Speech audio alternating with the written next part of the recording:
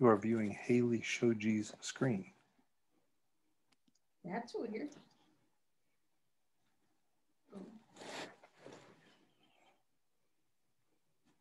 James, all right. Hello, everyone. Welcome to Knight School with Helen Smith, our guest of honor this evening. Um, I see so many familiar faces. It's great to see everyone. For those of you who don't know me, my name is Haley Shoji. I am the Alumni Relations Manager at PACE and also graduate uh, class of 2012. Um, we are here tonight for about an hour's worth of presentation from Miss Smith, going over some of the things that have changed in her five decades at PACE. And then we are gonna have some time for Q&A at the end. And I ask that you stay muted just so that Ms. Smith can do her presentation uninterrupted, but please, I see lots of people in the chat box already. Please continue to use the chat box to interact with Ms. Smith as well as each other. And then at the end, when we do the Q&A, you can unmute yourself and ask her your question, but we will do a little bit of a, we will call on you for lack of a better word. And um, we will have a time for a few questions and then we're going to get everyone on with their evening.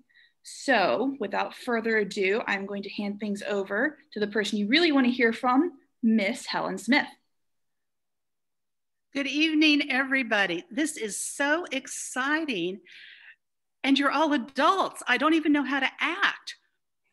Um, I'm very excited because signed up for tonight is one person from my first graduating class, 1973, and one person from the most recent graduating class, 2020. So this makes me very happy. Thank you for doing this.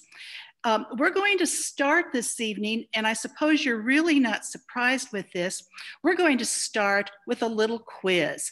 And so Haley is in charge of this, and she will now take over and she will do this. So thank goodness she's doing the technology. okay, everyone. So you should see a poll up on your screen. Um, please select which decade you were in at PACE, along with um, which of the very many famous Helen Smith sayings you remember hearing. We'll give it about 30 more seconds to let everyone participate, and then I will show you the answers.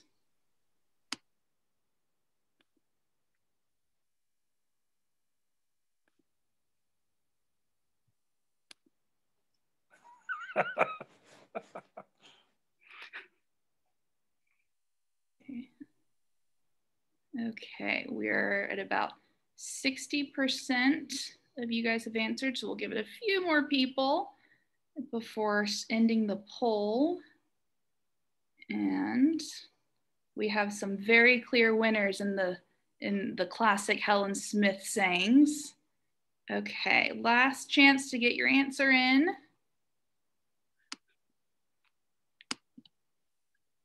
And here are our results. So we have pretty good distribution amongst classes.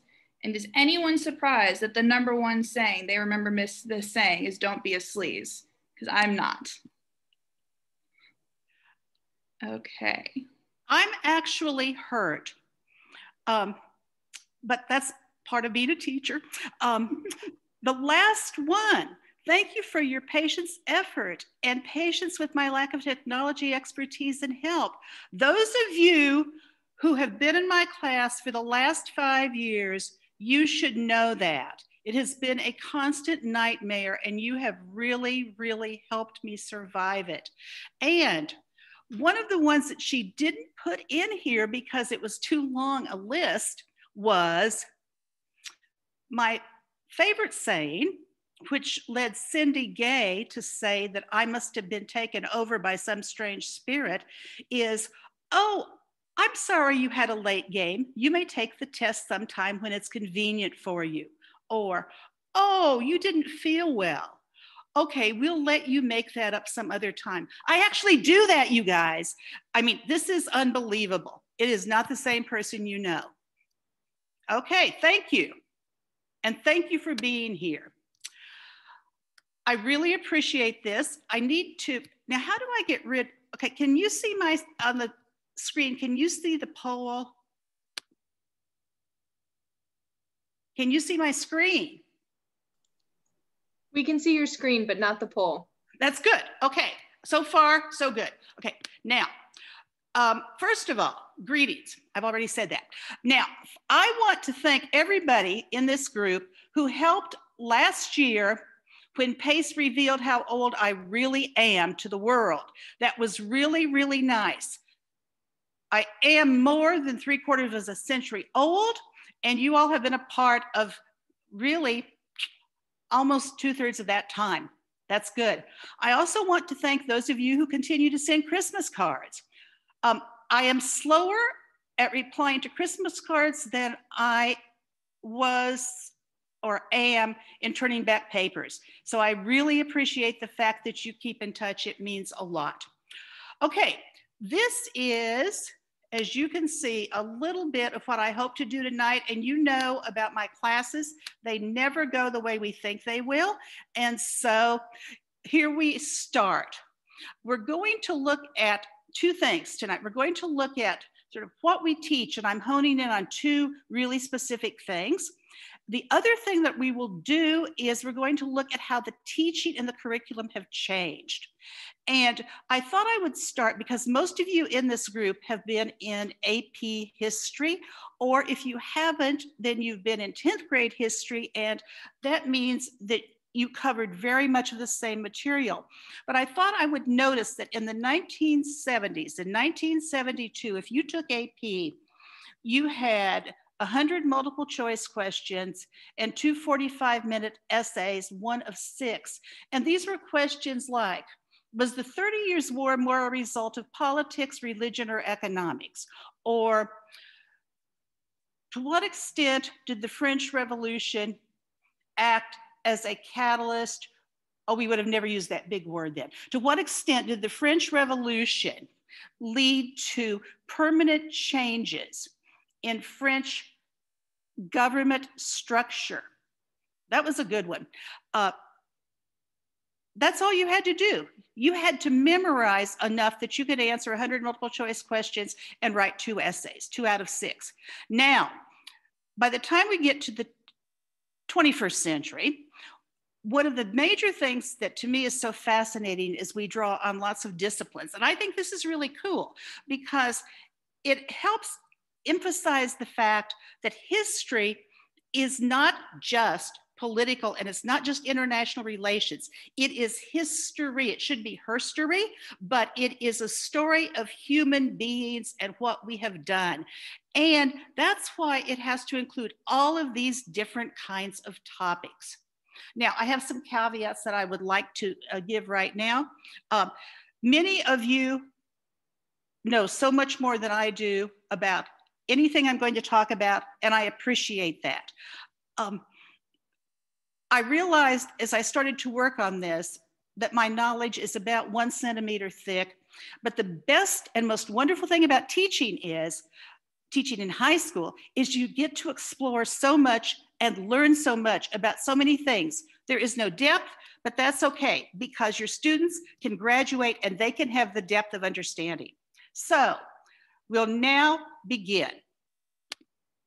We're going to start with curriculum, and I'm going to do this really fast. I'm not going to read everything that's here, um, but I wanted you to know that we do change with the times, despite the fact that we still teach American history, in 11th grade, that we still teach 10th grade European history. We've added some things. This is this list right here in the middle.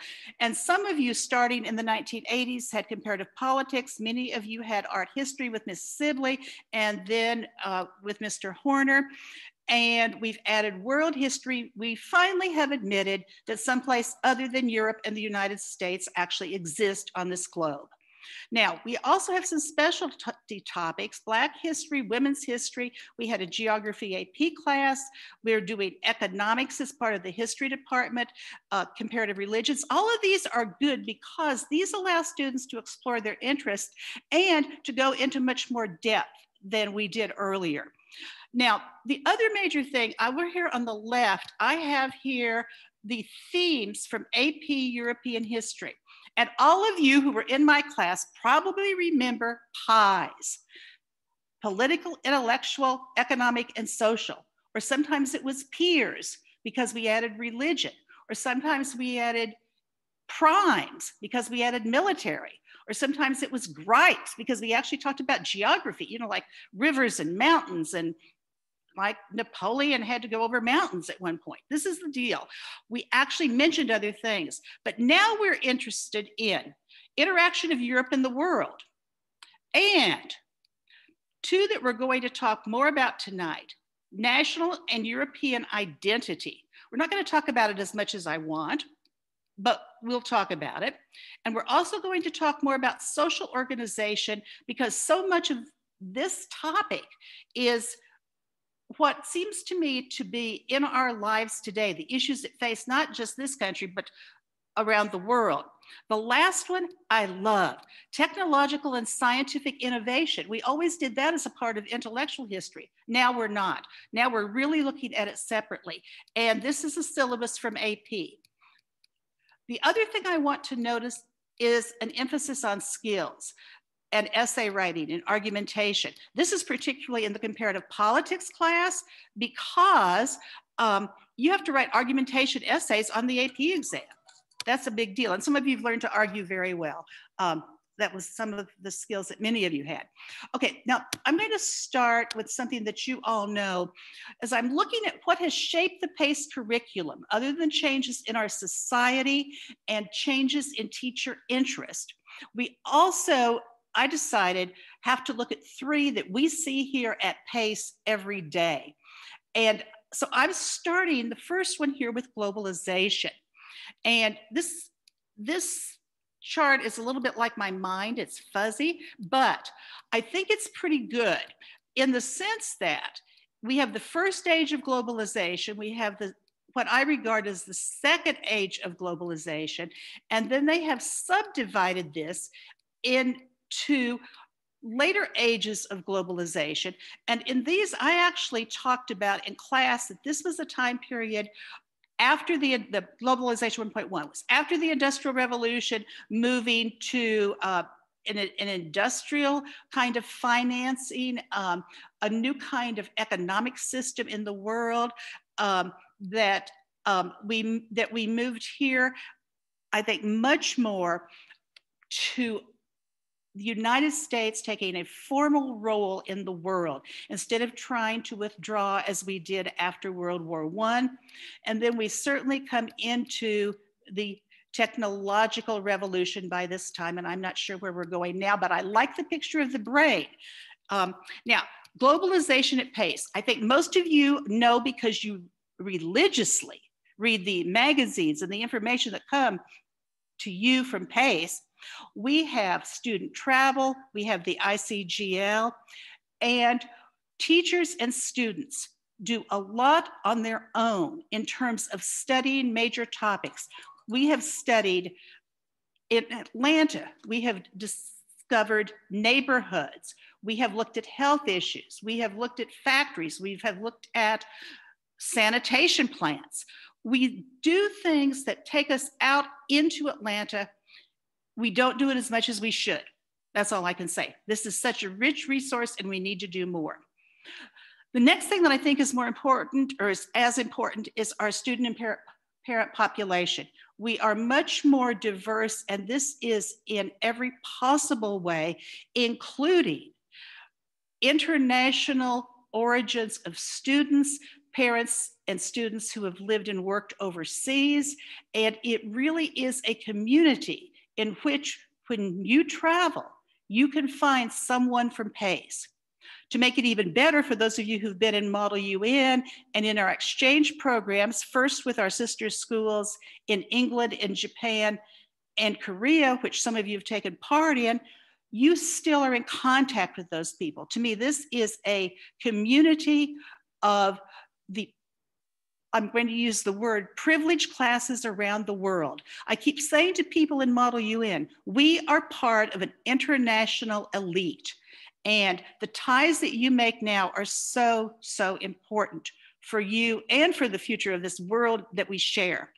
The last thing I have here is curriculum. Notice the word world, world history, much more world literature.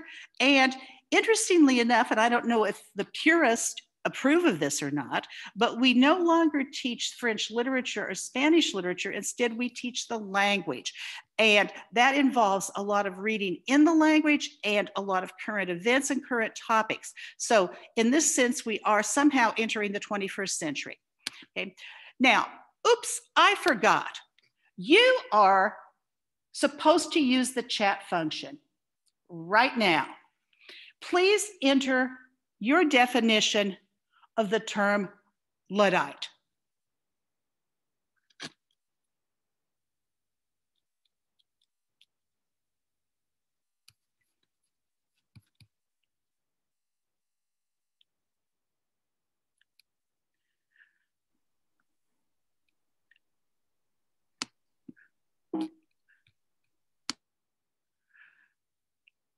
Now, wait a minute. I can't see the chat box. How do I? Oh. Up here under more. Oh. And then chat. Chat. There you go. Technology is such a mystery to me. There you It's go. Now you can see everyone. okay. Oh, wow. This is great. I'm seeing everybody's name.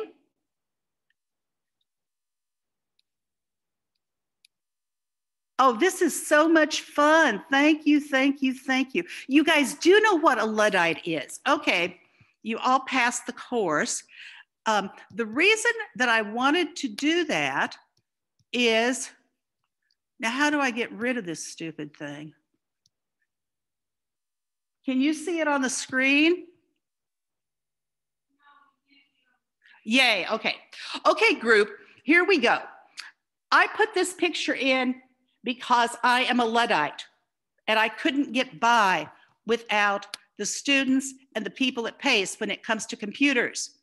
And I put in this woman in Wikipedia because True Confessions, sometimes I go to Wikipedia and don't we all? It's a dirty little secret. Okay, uh, you need to know about technology for those of you who don't have students here. We are not a laptop school. I want to remind you a little walk in the past. Bob Chambers once said, Helen Smith will never, ever use a computer. Well, he was wrong, but he shaped us, all of us who had him as principal, in so many important ways. I'm sure you remember Mr. Ioannidis and his Volkswagen bus van, Volkswagen van, in which he carried people to school and explained to us that math had the meaning of life totality. Jim Dietz, and then today we have some of the most wonderful IT people in the world. And what I love is they give us access to scholarly journals. Now, the other thing that I really love is that, as you can imagine, if you're a parent, your students know so much more than you will ever know about computers. They know so much more than your teachers. And wait a minute, sometimes they and the computer people actually work on the same problems. We have two uh, advanced placement computer programs. We have an esports team. These are all really cool. Now, let me notice here or point out to you for people in Model UN, we love the fact that many of our topics in Model UN concern the very questions that are raised here under ethics. We think that this is really important. That's what I mean by technology. You see the problems that I talk about. The next thing, neuroscience. I didn't know that there was a field of study called educational neuroscience, but there is. And this is important. And we are finally beginning to incorporate this. We are trying to change the way that we teach to reflect the changes in our society and the changes in the expectations of our students, both the expectations they have for themselves and the expectations that their parents have for them and the pressures that science, I'm sorry, that society puts on them. Now, I want you to notice, and to me, this is the most important thing on here, how easily we are distracted and how short our attention spans are. You all know that. Now, I'm not going to read these um, slides to you. I put them on here so you don't have to listen to me. It's like looking at the posters in my room. If you're not interested, read the slide. Okay, we're now going to have a quiz. This is another quiz in which you have to fill in the blank. Because one of the major themes in history is always how does change take place over time? I want you to enter your answers to these questions. It's very clear, it's on here. I want you, from your point of view, to answer this question what has changed most in the world around you, starting, say, after high school graduation until now, and what has changed the most in your family? And uh, Haley and Andrew Guest, who've helped me, have suggested that I give my examples. So, my examples number one for the world there's no USSR. Um, I can remember sometime in the 1980s actually driving home and pulling off beside the road when I was listening to the radio and thinking, oh my gosh, we really could use a nuclear bomb. I don't think that anymore. Now I think about non state actors, I think about terrorists, I think about climate. Well, I think about a lot of things. Um, the next major thing that's changed the most for me is this global questioning or even an attack on what I regard as the basic values and principles that come out of 19th century classical liberalism. That does not mean liberalism as the dirty word, which was often used here at Pace uh, when I first came to school, because everybody assumed that because I was in 1972 for George McGovern, that I was certainly a dangerous liberal, probably a socialist, and possibly even a communist.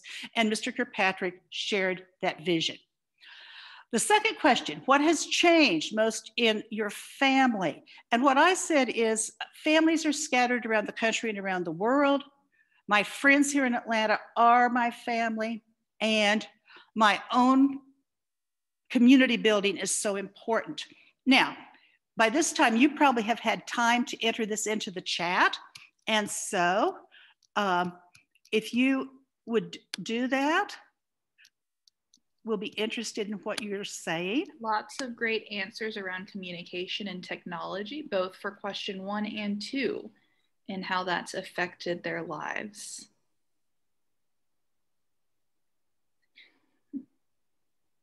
A lot about, you know, having children and growth of families.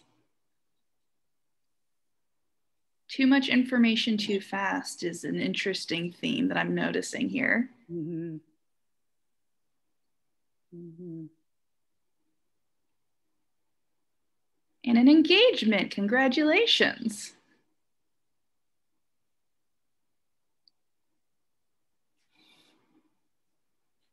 Hmm.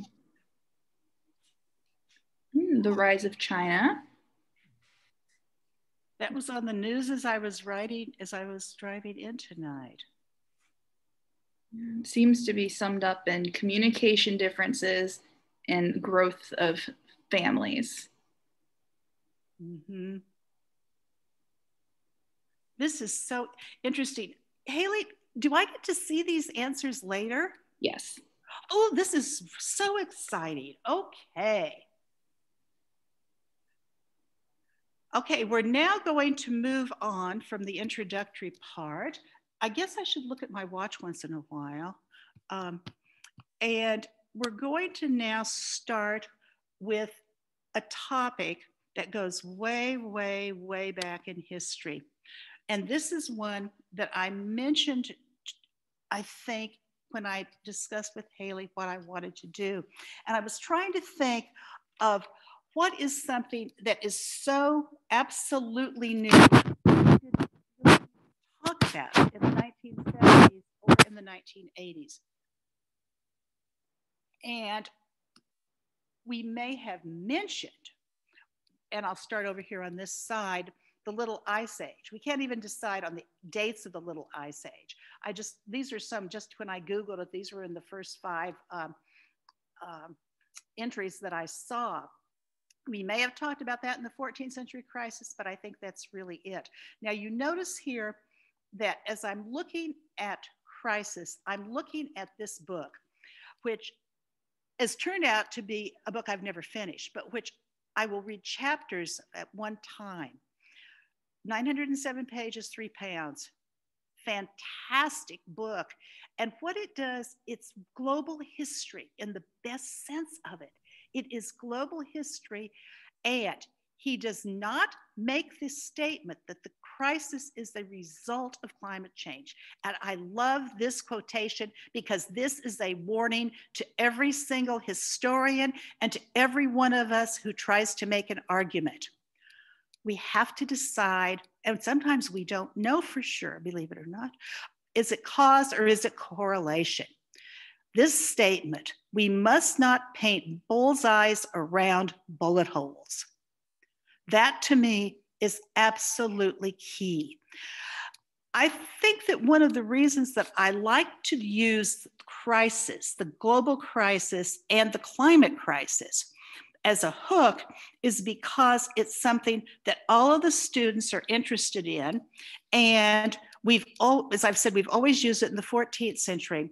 And I want to put one more quote here. Some, I decided this page looked like your notes after I had finished my so-called lectures or at the end of the class period.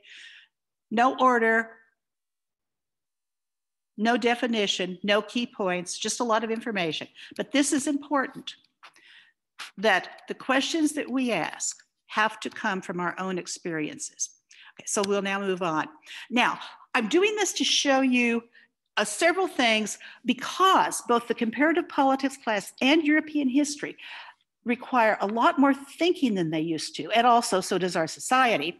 Um, for example, we do a lot with interpreting uh, charts and graphs.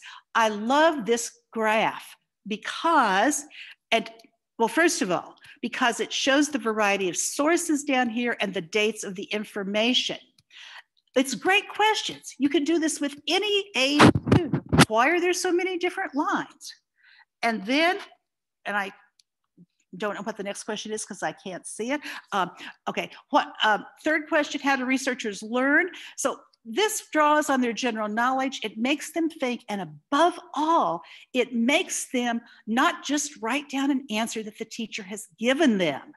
It asks them to use what they know and to build on it, or to incorporate what their classmates know and build on that. And this fits so well with the active learning that we have to do in the 21st century if we're going to prepare our students for more than just to be little Googleites. Okay. Now, and the last question, why do historians care? That's great because a lot of them know a lot about current events. The next chart, this I love because it relates history to climate. And here we get declines in population. Here we get declines in population for the Justinian plague, which many of you remember, we actually used to teach medieval history for those of you who um, have now graduated from Pace, moving straight from Greece and Rome to the Renaissance, pretending that a whole thousand years of history did not even exist.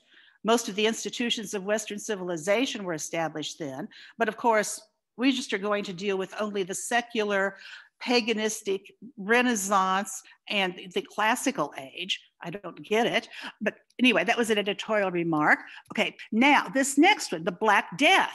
And then this great big one, the population loss of indigenous people because of the Columbian Exchange. You guys, this is another word that we didn't even use in the 1970s. I don't even know when I started using it. The book was first used, or the term was first used in 1972 in the book by Crosby, but uh, we certainly didn't use it then. And the other thing that I had never thought about is so cool over here in the right hand column. Temperature declines in the early 1500s all over North America, like here, and Northern Europe have been traced to the trees regrowing on land that had formerly been farmed that Europeans were taking over and were not yet farming again because the trees were removing the carbon dioxide from the atmosphere. I love these correlations and I love getting kids to look beyond what's obvious. This next one, very quickly. I just thought I would show you this. And the last thing I used the, uh, the, the idea of the hockey stick, uh, to, the shape of the hockey stick to show the change. And what I wanted students to do here is to look at this and to see and ask them which one makes the changes more clear. First, we have to decide that the blue is yes, it's getting colder, and the red, yes, is getting warmer. Um, this is a great great way to start student discussion and figure out what, oh, it's called metacognition. How do they learn and how do they think? Okay, the last one almost, demography. And here we're making relation, the relationship between um, population and climate. Um, and of course, if we were doing it this year, we would have talked about extremes of climate like the fires and the hurricanes. And but I also find it fascinating is to look at the graphs. And I, I loved this one because this one shows you in one small, small area of Italy. And I think that that is, I think that's really important for them to realize and to learn that historians are putting together evidence from small pieces of information, church records, or if the city did a census, and to realize that this is not just something that appears in a bound textbook. Somebody has to find the information. Last page right here. Uh, I love using sources other than the written word in a textbook. This is the 14th century crisis. This over here is the 17th century crisis. This one, uh, you don't need to know a lot about, you don't have, will not be quizzed on this, but isn't this the coolest picture? Because this is from the Divine Comedy, the Inferno. And um, in case you can't read the words, I was going to read this. Dante, I am in the third circle filled with cold, unending heavy and accursed rain. Its measure and its kind are never changed. Gross hailstones, water gray with filth, and now come streaking down across the shadowed air. The earth, as it receives that shower, stinks. And we have our great beast. This is just fantastic. The next one, we I love Dutch painting. Here it is, or um, this is the perfect 17th century crisis. Climate change, and this one is even better because this one shows the ship stuck here in the ice. You can see the people ice skating here, and this is be just a little local port. They're unloading peat. Oh, it tells you that they're unloading peat here. But the thing that's important that I didn't really realize is that even though the Spanish probably were going to lose anyway, that the climate may have made a difference here because the defenders, the Dutch, the northern provinces of what had been the uh, Spanish Netherlands, were in towns now, that means that they could be cut off from supplies at times, but the Dutch seemed to be able to manage that fairly well. But the soldiers were out in the cold and they could not get supplies easily, and they were often cut off from their supply lines. And all of this helped lead to the uh, success of the Dutch in getting their independence. I just think that this is so fantastic for us. And then I want to remind you of some things you probably remember. French Revolution, major drought, 1787 um, to 88. French Revolution in 1848, droughts 1846 and 1847. Today, as the Sahara deserts extends into what used to be the very northern part of Nigeria, now way down into the center, to intense ethnic rivalries and clashes in the middle belt. And that's happening all over that zone in, um, in Central Africa. Syria's drought started before Arab Spring in 2011, and farmers all over Syria watched their animals die. The ground became cracked they went to cities. There was no way for the cities to absorb them. They didn't have skills. That was it. Then you get the spark of the beginning of the Arab Spring, and well, you see where we are today with Syria. Southeast Asia, droughts right now, and one one that affects us every day is the changing ecosystem and climate change in Central America, which is leading to a vast migration. And you understand that that's become a major political issue. Okay, we are now going to go on to something else. We're going to start looking at these themes. And out of these two themes from this uh, outline that I showed you earlier, all we're going to look at today really is class for social organization, and we're going to look at identity. Now, what's even more interesting to me, but I couldn't do it all, was to look at uh, the effects. Because notice, we often spend too much time, I think, in history classes looking at what happened and why it happened. But I think the fact that we now are looking more at effects is really important. And you see that I am caught up here in a paradigm in which I learned history. We didn't do as much as looking at the long-term results in individual and society or on political, social, and cultural order uh, we were very perfunctory in our looking at results. Now, I have to confess, there's one topic that was mentioned that I thought we would do. It was the quotation about women holding up half the sky. Well, history lives left out women for thousands of years, and it's Women's History Month. I should have covered women, and we really are not. And I'm sorry. Now, what you see here are some words that we did not use. We did not use these at all. Um, in European history, when I was teaching, I have no idea for how long until we, except for these power, authority, hierarchy, and patriarchy. And I've put in here the definitions that we now use because these are very much political science definitions that we get, for example, in comparative politics. Um, we have uh, Max Weber um, discussing the different kinds of uh, legitimacy um, or authority and legitimacy, really. And these are very interesting words to use now as we look at the changes going on today around the world. Um, so I thought I would mention that we are working more together. I've said this already, and we are working more on definitions, the clarity of definitions, which of course is pretty much impossible. Um, the next topic I want to talk about now is talk about identity. And we're going to look at identity in three different ways, three different levels. We're going to look a little bit at individual identity, at nationalism, the national identity, and the development of that. And this will be a review. If you're a history professor, if you're a political science teacher, if you're a lawyer who studied all this in college, I just apologize. Um, but here it is anyway. So we're going to do individual, nation, and then a little teeny look at the world system.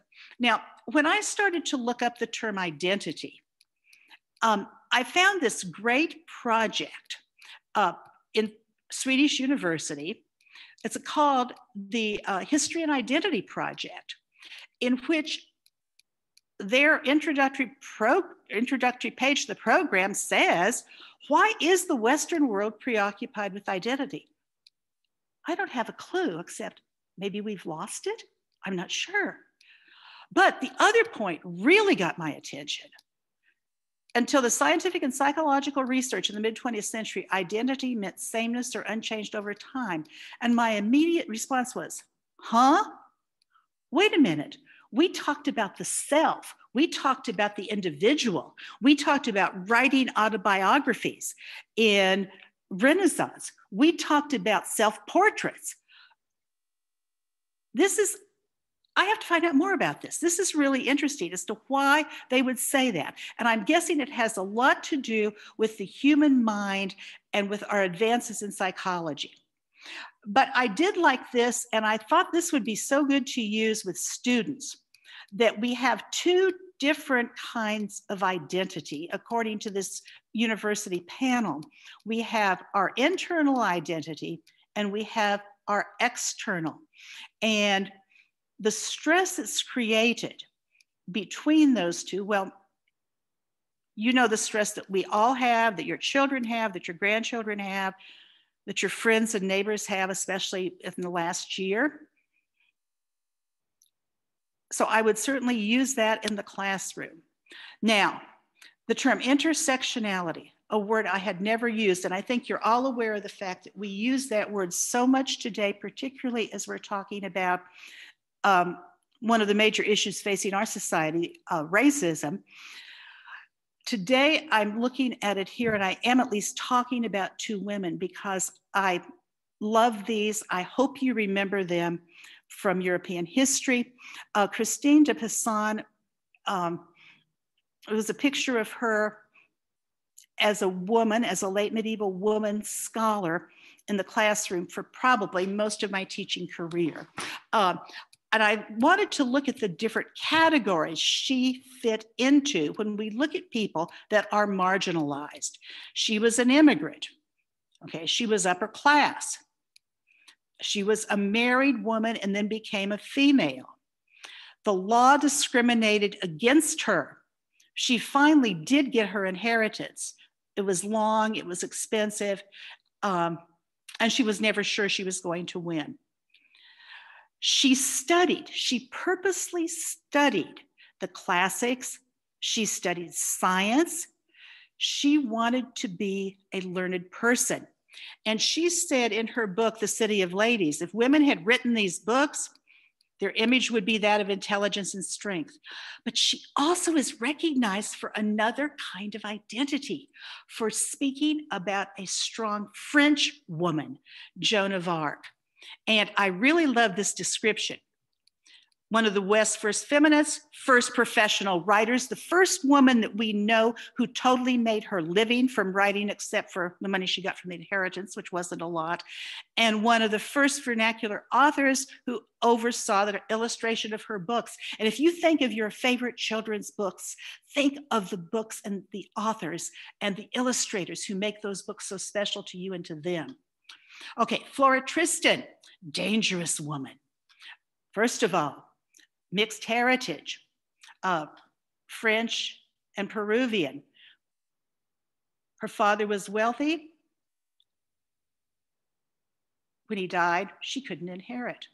When she moved to Paris from Peru, where she lived and wrote travel uh, descriptions for almost a decade, she was working class. She married.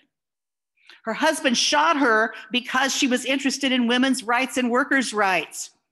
She even had trouble getting a divorce from this man. Her thought is important because she rejected the utopian socialist idea that workers could improve within the existing society. And she said workers had to take charge of their own lives. And I think it's interesting to see here these two words that are so important. Both of these women had agency. Both of them made decisions. Both of them went through the legal system. And they both voiced an opinion that was opposed to the status quo. And this, I think, is really important.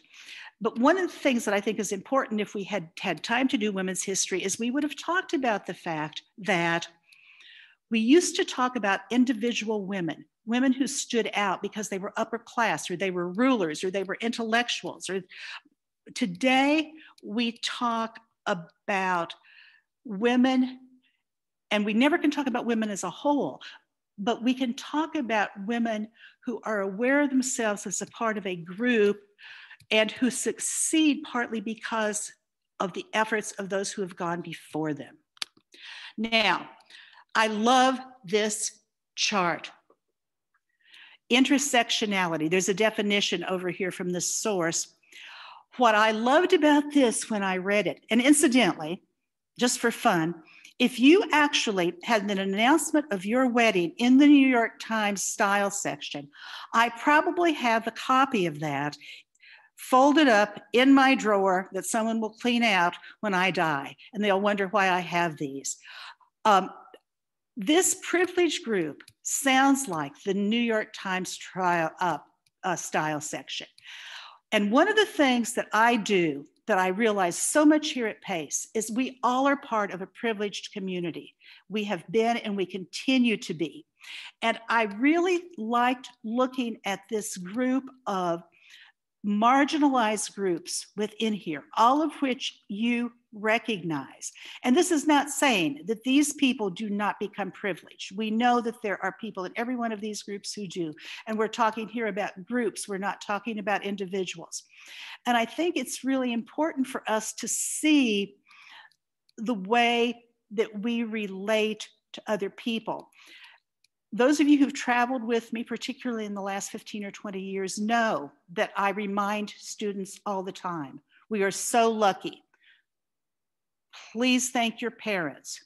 Please appreciate the fact that the airline upgraded you out of the cattle car in the back. This is all important for us to know who we are and to be aware of our privilege. Now, let me go ahead.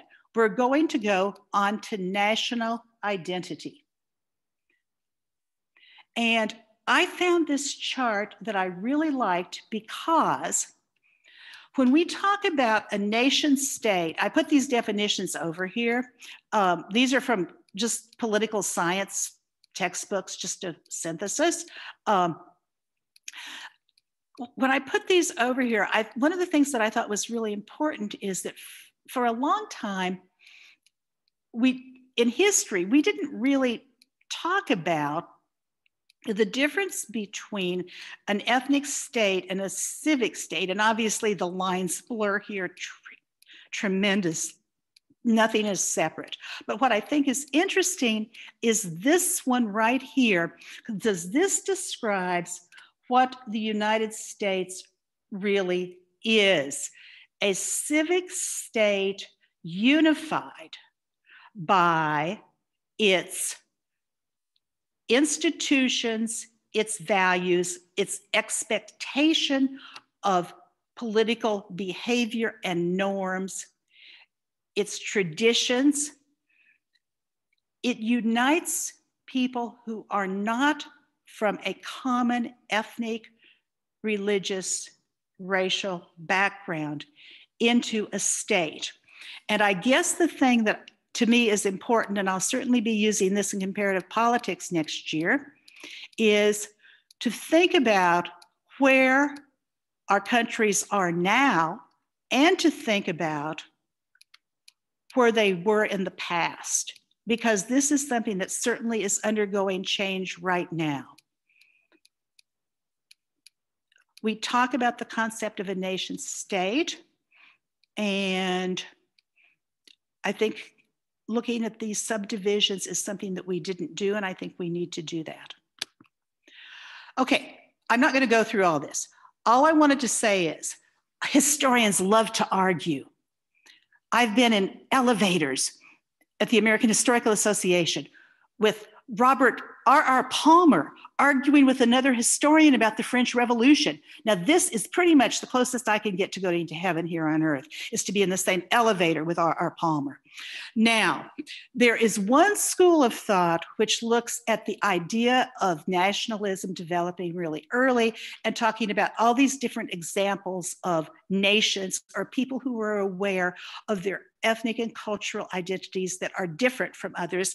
And also, it even when they lived in the same place, lived under different laws. Now, we all know from uh, from our history, vernacular languages helped um, and the decline of Latin as the international language, um, international language of scholarship and law, medicine, as a decline of that then helped divide us further. I did want to mention this one because uh, well, just because of Israeli politics today. Uh, Benjamin Netanyahu's father was the, one of the historians who wrote, I think it was a thousand page book on the origins of the Inquisition and uh, in Spain. And he talked about the idea of seeing Jews in Spain, the conversos, not as a religious group, but seeing them as a race. And the theory is that the conversos were always suspected of not being true Christians, which they were theoretically supposed to be once they had converted. We all know about the Reformation and its encouragement of national um, languages and of separation from the Roman Catholic Church. But one of my favorites here is dynastic nationalism. And you all may remember Elizabeth I going to speak to her soldiers before this uh, arrival of the Spanish Armada, telling them that she may have um, that that she may be a woman, but she has the heart and soul of a man, and that that she is to defend the English nation. And I wish I could remember the precise quote. The dynastic nationalism, but we say it is the French Revolution, or this is what most historians say. And what I would like to mention here is something that I think is really important, which is the idea that, in a way, nationalism becomes a religion. And notice in the ways that it does it. I'm going to read some words from the Marseillaise. Maybe this will say something about the tension within the nationalism of the French Revolution. What does this horde of slaves, of traitors and conspiring kings want? For whom have these vile chains, these irons long been prepared? It is us they dare plan a return to the old slavery. Tremble, tyrants and traitors, the shame of all parties. Tremble. Everyone is a soldier to combat you. If they fall, our young heroes will be produced anew from the ground, ready to fight against you. To arms, to arms, to arms, to arms. And one of the most interesting things to me about nationalism this strong defense surrounded by enemies. But there's another idea that comes out of the French Revolution, and it is the idea of, of not fraternity as nationalism, but as brotherhood, as a community. And that goes to this definition up here of the modern state can mobilize people for an imagined community whose members develop a sense of obligation to one another. And then historians love to debate this topic. Did monarchs create or strengthen the nation, or did they build a state around a nation? We don't have an answer, but I love the questions, and the questions are what are most important. My very last thing here, quick change over time. Okay, you all remember this from 10th grade history, that romanticism was both liberal and conservative. We have here Delacroix, Liberty Leading the People. We have here the very conservative Chateaubriand, French um, romantic thinker in the, um, I'm sorry, uh, and the painting by uh, Caspar David Friedrich, uh, looking back to the history of France, to the religion, to the ancient mysteries, to the monks in the cold and the graveyard in the snow. It's wonderful. Romantics emphasize all of these things. And of course, it is such a small step from moving from uniqueness to being special, to being superior. Remember that nationalism failed in 1848. It's succeeded by war and by the 1870s, Italy, Germany, and the United States.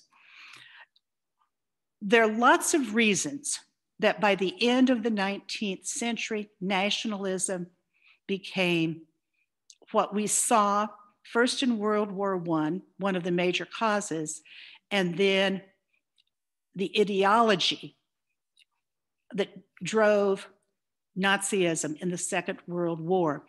I would like for you to notice these other causes that people look at social Darwinism, the emphasis on power and survival of the fittest, again, superiority. Eugenics. We've had a great emphasis in eugenics here in this country as we've looked at the origins of racism. Um, I think that some of you might remember that, and I have this here as the last item here. Um, a fairly recent book has discussed the impact of the laws and structures of our Jim Crow system on Nazi thought um, and Nazi practice once the Nazis were in power in Germany. You might, okay, anti Semitism and the Dreyfus Affair. The Vienna mayor actually ran for office on a ticket called the anti Semitic, anti Semitic ticket. Pogroms, the uh, the fake protocols of the elders of Zion, much greater emphasis on groups. And this is that a whole thing. Now, Haley will now do our next poll. It's a multiple choice test. And we've just talked a little bit about nationalism, and there are three questions here, and the, and the images for questions two and three are on the screen.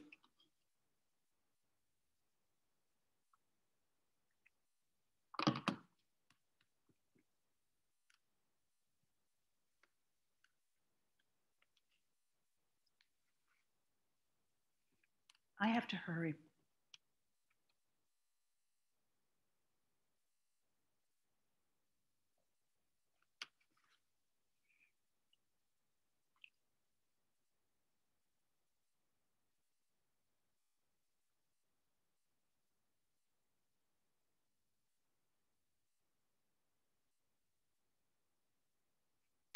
Oh man, these people are smart.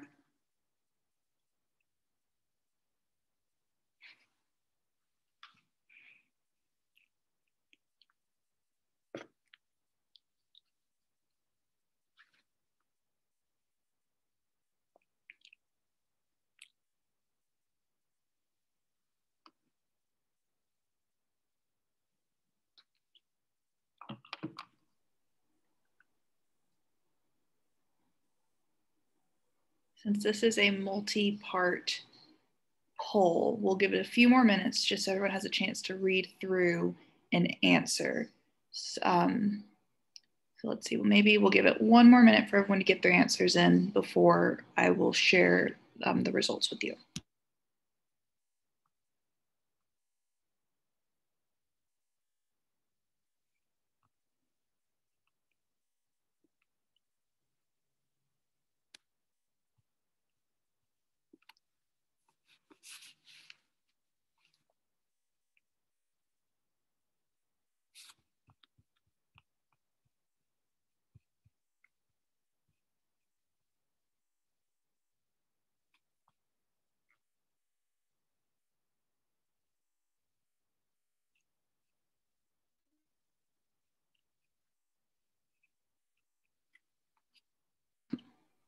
I think final chance.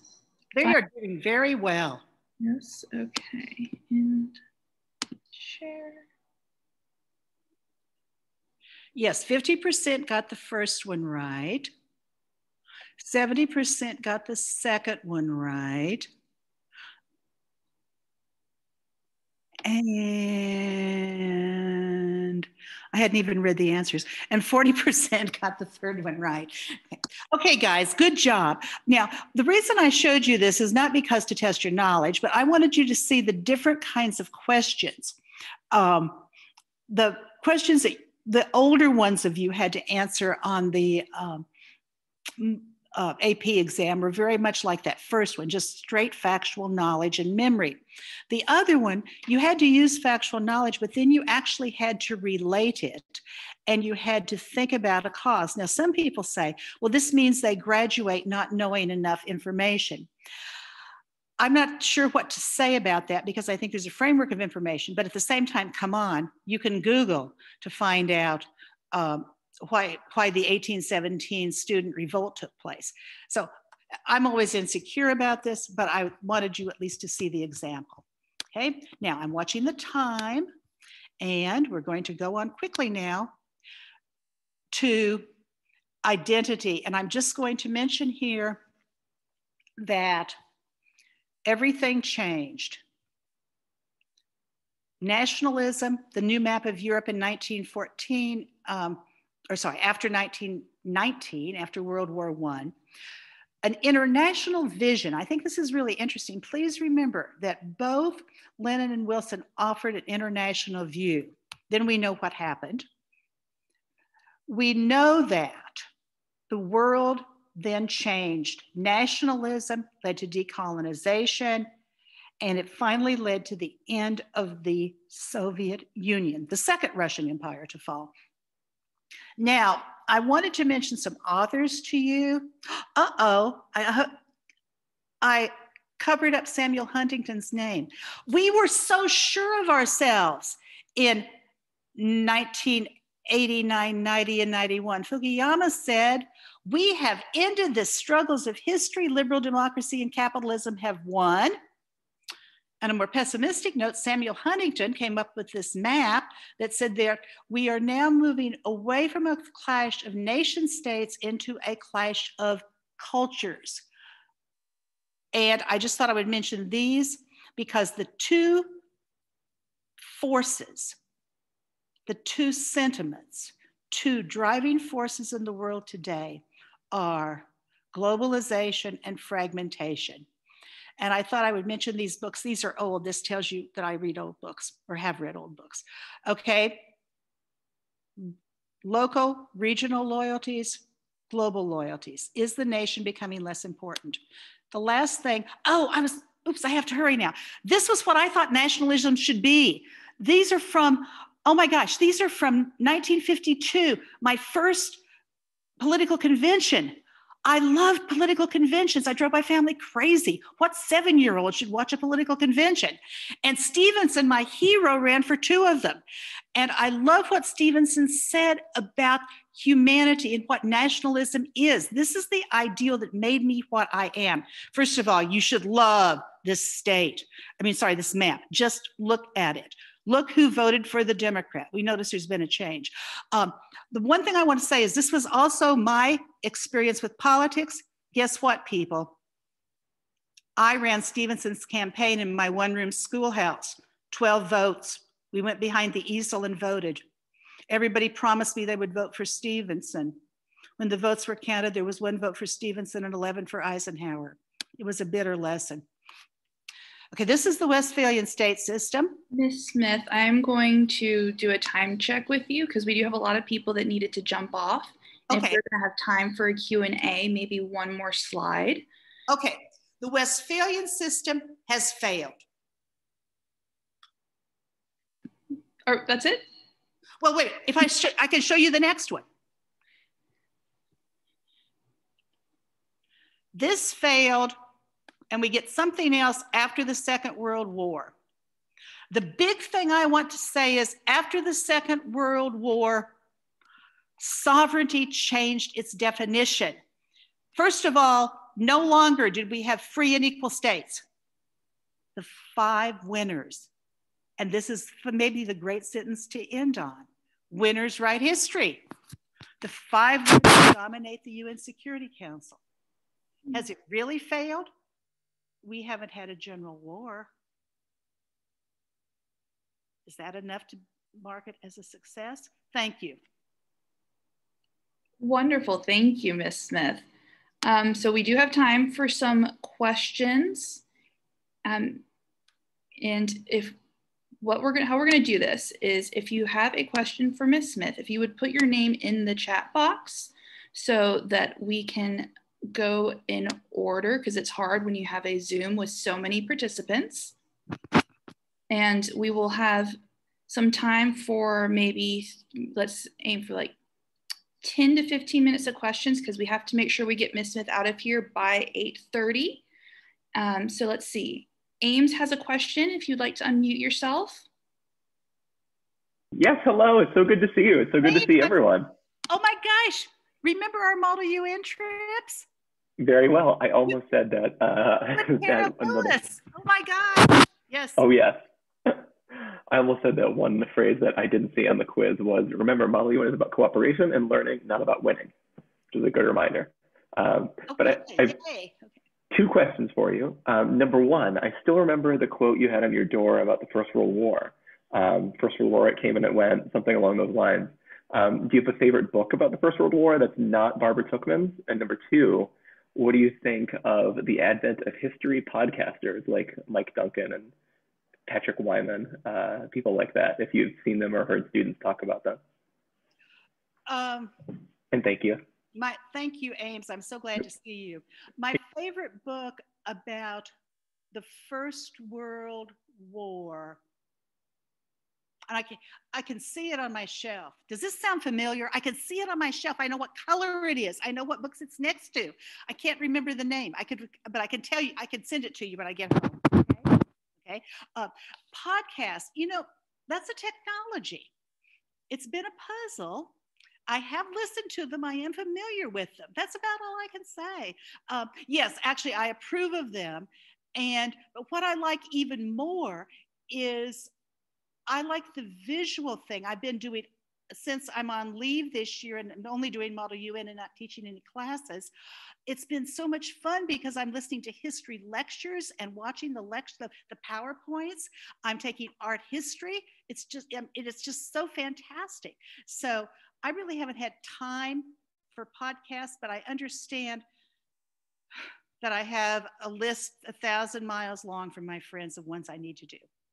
And I guess you like them. I think you'd really like revolutions. They're in the Russian Revolution right now, and uh, I've been listening to it and thinking this Smith would get a real kick out of this. Then you should write to me. You guys, I I will. eventually will answer emails. Maybe faster than Christmas cards. Much faster. Okay. Um, so we have another question from Marianne. If you'd like to unmute yourself and ask Ms. Smith your question. Um, we're in Soviet history class. I was wondering, can we go on a field trip? Do you want to go to Russia? I, I went with you to the Soviet Union. I had to go back you- to oh, Russia. that's right. It was the Soviet Union. We are so old. I can't believe it. Remember how It was so weird going back.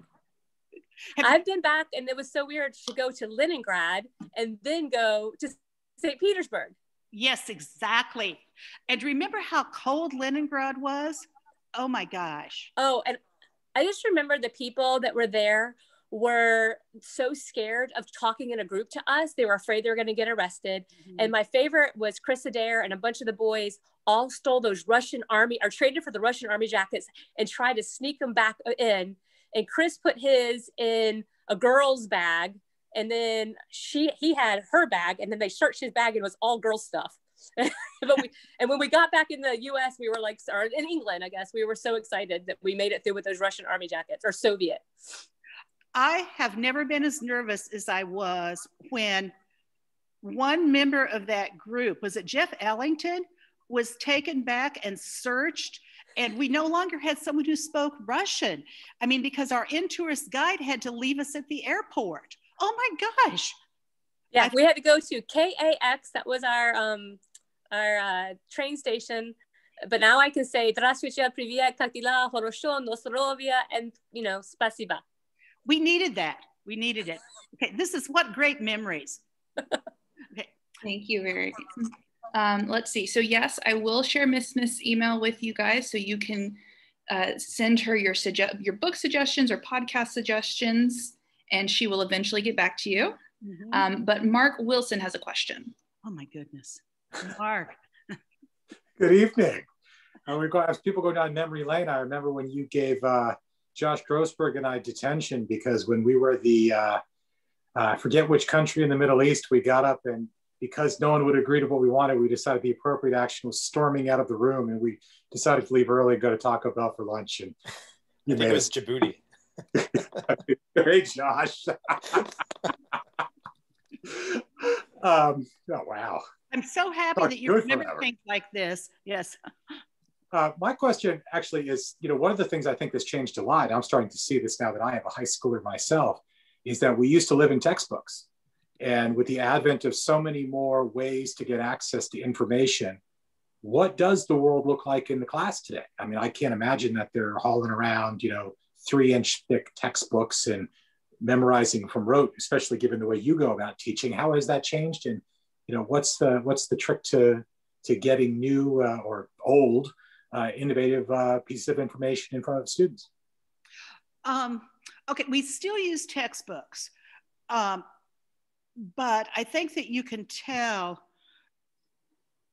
Well, I've always attacked textbooks. You may remember that, that I really don't like them, um, and that I've always really wanted to do more with primary sources. One of the things that, incidentally, for those of you who were so important in my classes, we don't have time to do the salon anymore.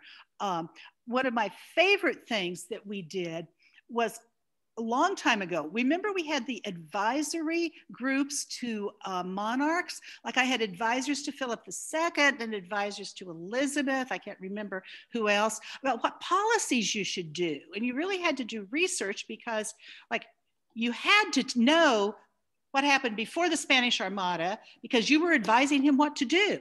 I, people did costumes. I remember we did projects on the outbreak of World War One. We don't do that anymore, and I hate that. But Mark, what do we do? We do a lot of looking up and we do a lot of typing answers quickly, like you guys did with the chat tonight. Um, in other words, it's to keep people involved because I swear the attention span is so much shorter. But to me, it's um, like assigning, like for example, giving different primary sources to different people and having them um, respond to sources about the same event and very different points of view. It's that looking and evaluating evidence, Lo looking at the point of view, looking at the source. Um, I think that's much more important. I really like the fact that the new AP exam doesn't rely so much on memory of a lot of things. You have to know, I mean, if you don't know the Edict of Nantes and you don't know the Treaty of Westphalia, you can't get through. But you do not have to know about the names of all the families in the French Wars of Religion, or you do not have to know about the Bohemian phase of the of the Thirty Years' War. I mean, though do you see, it's a it's that kind of difference, and it's looking much more, I think, at themes and asking the questions of change and continuity and cause and correlation. And I, so what do we do? We use it all the time. We look at maps, we look up, we answer questions, uh, we look up historians' names. If I say, I can't remember who said that this was an Atlantic Revolution instead of a French Revolution, you know, somebody will look it up. And so for me, it's perfect because I can't remember anything. And so the kids can help me. So does that answer your question? It's just continually active. That's, I think that's the key. Not, wait a minute, they may not think it's active. From my point of view, it's active. okay. The last call for any questions. Zach has a question. Um, hi, Ms. Smith. This is Zach Finch from, uh, I graduated in 1991. Um, wow. I did not recognize anybody that I knew. Hi. Oh my gosh. Okay. Um, so yeah, I remember so much from your classes, including the section on, well, well, there was, we learned the history of Nigeria, then we learned the history of Israel and Palestine and the Russian Revolution. Um, and of course, your, your truth or truism that there, there's no black and white, just shades of gray. Um, my, my question for you is just about the student body. Like, I'm really curious. I mean, you, you mentioned that attention spans have shifted um, like in, in what other ways would you characterize the, the, the evolution or the change in, in, in the student body over the years? Um, students read less, no, not all students. Many students read less than they used to. Um, students are more stressed and their schedules are so busy. Part of it is resume building for college. Um, that to me is just, is one of the really scary things. Um, because they don't read as much, um, writing is not as mature and as insightful as it used to be because we're used to looking for easy answers as we've already said. That's um, i think that's one of the um, the problems. Um, and several of you i noticed talking about uh, misinformation when you were talking about changes in your lives. That to me is really important um, is helping the students figure out what are good sources of information. I think that's one of the that's one of the key things that we can do. And um, like for example every single thing that i looked at because there are lots of sources here I didn't know till I started to prepare this. I mean, I looked up to see what I could find out about the source. And particularly if you're writing research papers for me in comparative politics, you have to do that. So um, how has it changed? They're more worldly, they're more adult, um, they're more secular, they're more, I mean, I can, I can go on. Okay, um, but Haley, I'll, I looked at the clock. It's six. Okay, if I can leave here by eight thirty, I can. I can get home for my, and my yeah, nine questions. Okay, So, um, Wit, if you would like to unmute yourself. Yep. Hi, Miss Smith. It's Oh, really great to see you. I'm so glad to see you. Yeah. So my question, and this is something I've been thinking about a lot recently. You talked a lot about the importance of critical reasoning um, over memory in order to kind of synthesize facts that may be presented to you that you may Google or maybe a DBQ or something. Um, what then, what importance do you place on actually having a working memorized kind of repository of facts? If and if if not, likewise, what do you think are the most important types of critical reasoning skills um, to to just have in your arsenal to work with information? We could meet for dinner sometime and talk about that and a drink. Um, um, I there has to be a factual chronological understanding of history. I mean, you can't do history without knowing facts. I think the I think maybe the I think my example of the Edict of Nantes is good. In other words, uh, the names of the three major families in the French Wars of Religion don't make a lot of difference. The fact that the wars went on for over 40 years and there were continual attempts to make peace, and finally, somebody who had been a Protestant who converted back to Catholicism so he could take the throne, then established um, more religious toleration than in any other country at that point, except maybe the United Netherlands. I think that's important. And then knowing, though, that absolutism almost a century later came in, and then that toleration was taken away. Um, that to me is important because it shows the power of the monarch, the increasing power of the monarch. Um, it shows the the attempt to control so many aspects of life because i mean that's one of the things i could talk about forever is the increasing no matter what religion you were no matter where you lived and i think today we get to this even more is the increasing um, in what we i guess the word infringement upon our own autonomy i mean look at today. This is one of my big things to students. You just don't have to tell everything that you do and think on the on social media. And I'm sure if you're a parent, you worry about that a lot. Um, so with that, so I anyway, back to my point, I think that there is a chronological base and I think that you learn the chronology almost through asking the questions about why is it important. I think, why is this, why did this happen? It's really those big questions. Why did this happen? For who, whom did it, for whom uh, was it a benefit? Who was hurt by it? I think those kinds of questions that help you remember the facts. It's that idea that an, beginning to understand what's happening helps then incorporate in your mind what you need to know. Thank you. But I'd rather meet for dinner. Okay. Look Okay. for an email from me. Okay. Okay, thank you. And our last question is Eric Estroff. Oh my gosh. Hi, Miss Smith. Um, I have so much gratitude for you. I, I would go for a really long time, but I have so much gratitude for you and Haley and Pace for organizing this. So thank you so much. This was like so joyous. Um, as a student of history and as a teacher of history, I just had a quick question, which is as we head into potentially a new chapter of history in a post-COVID world, like let's hypothetically say this is a new new new chapter. Do you have a challenge for this group of your former students who are potentially in various positions of power um, or influence and, and privilege? What do you what do you challenge us to think about as we head into this new chapter? Eric, I love that question. I challenge you, first of all, in our country, to think about the basic principles the civility, the traditions, the norms, the expectations, um, the compromise, the,